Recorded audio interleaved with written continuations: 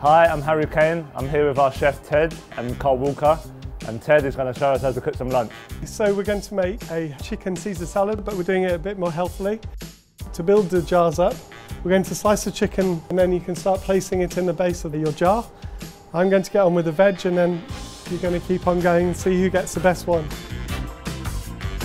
So next is the lettuce, cucumber, Oh, look at yours, all it's all messy. I think that looks nice actually. No. Okay, onto the tomatoes. Then you're going to go with carrot. This is finishing. Make sure it looks tidy. Onto the favourite bit, Caesar dressing. He, he is ah. making a right mess, isn't he? And then you've got your Parmesan cheese to go in after that. Some sourdough croutons. Look at that. That is as healthy as it comes. So, two chicken Caesar mason jars. All right, James, and the chicken Caesar salad, what are the benefits in that? Yeah, it's a nice light lunch. You've got the protein in there with the chicken and different coloured veg. It's going to give you all the vitamins and minerals you need.